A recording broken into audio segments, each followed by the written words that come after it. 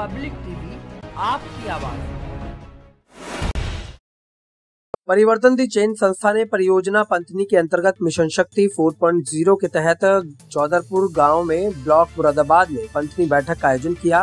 कार्यक्रम में मुख्य वक्ता के तौर पर गायनोलॉजिस्ट डॉक्टर मनीषा जैन और मुख्य अतिथि के तौर पर सीओ कोतवाली, डीएसपी अपेक्षा निम्बाडिया उपस्थित रही। कार्यक्रम में महिलाओं को उनके अधिकारों के विषय में डीएसपी अपेक्षा निम्बाडिया द्वारा महिला हेल्पलाइन नंबर के विषय में घरेलू हिंसा के लिए जागरूक किया गया। गायनोकोलॉजिस्ट डॉक्टर मनीषा जैन द्वारा जागरूक किया गया। लोक अदालत के विषय में विधिक प्राधिकरण स्वयं सेवक नीतू सक्सेना द्वारा जागरूक किया गया। सभी अतिथियों द्वारा महिलाओं को निःशुल्क सैनिटरी पैड्स और मिष्ठान के पैकेट का वितरण किया गया।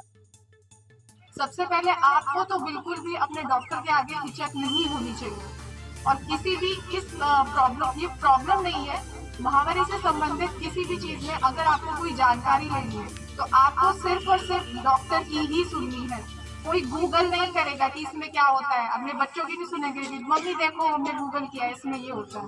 नहीं। गूगल पे हमेशा सही इन्फॉर्मेशन नहीं मिलती है। आप मुरादाबाद में बहुत अच्छे डॉक्टर्स हैं। मनीषा मैम है। आप लोगों से नंबर्स भी शेयर किए जाएँगे। और अगर आपको कोई किसी तरीके की समस्या होती है, इससे रिलेटेड या अगर आपको कोई जानकारी लेनी है तो हमारी मिशन शक्ति की भी टीम आती है, वो भी काफ़ी नॉलेजेबल है, आप उनसे भी पूछ सकती है।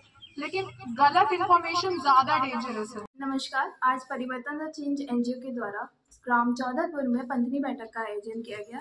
ऐसी बैठकों को हमने अन्य इकतीस गाँव में किया गया है। इस बैठक को हमने मेगा बैठक के रूप में लिया है, जिसमें मिशन शक्ति को भी साथ में जोड़ा गया। इसमें मुख्य अतिथि के तौर पर डीएसपी अपेक्षा मैम और मुख्य वक्ता के तौर पर डॉक्टर मनीषा जैन मैम मौजूद रही। इस बैठक में हमने गाँव की 300 से ज़्यादा महिलाओं को सैनिटरी पैड्स देकर उन्हें मेंस्ट्रुअल हाइजीन के बारे में बताया। पब्लिक टीवी आपकी आवाज़।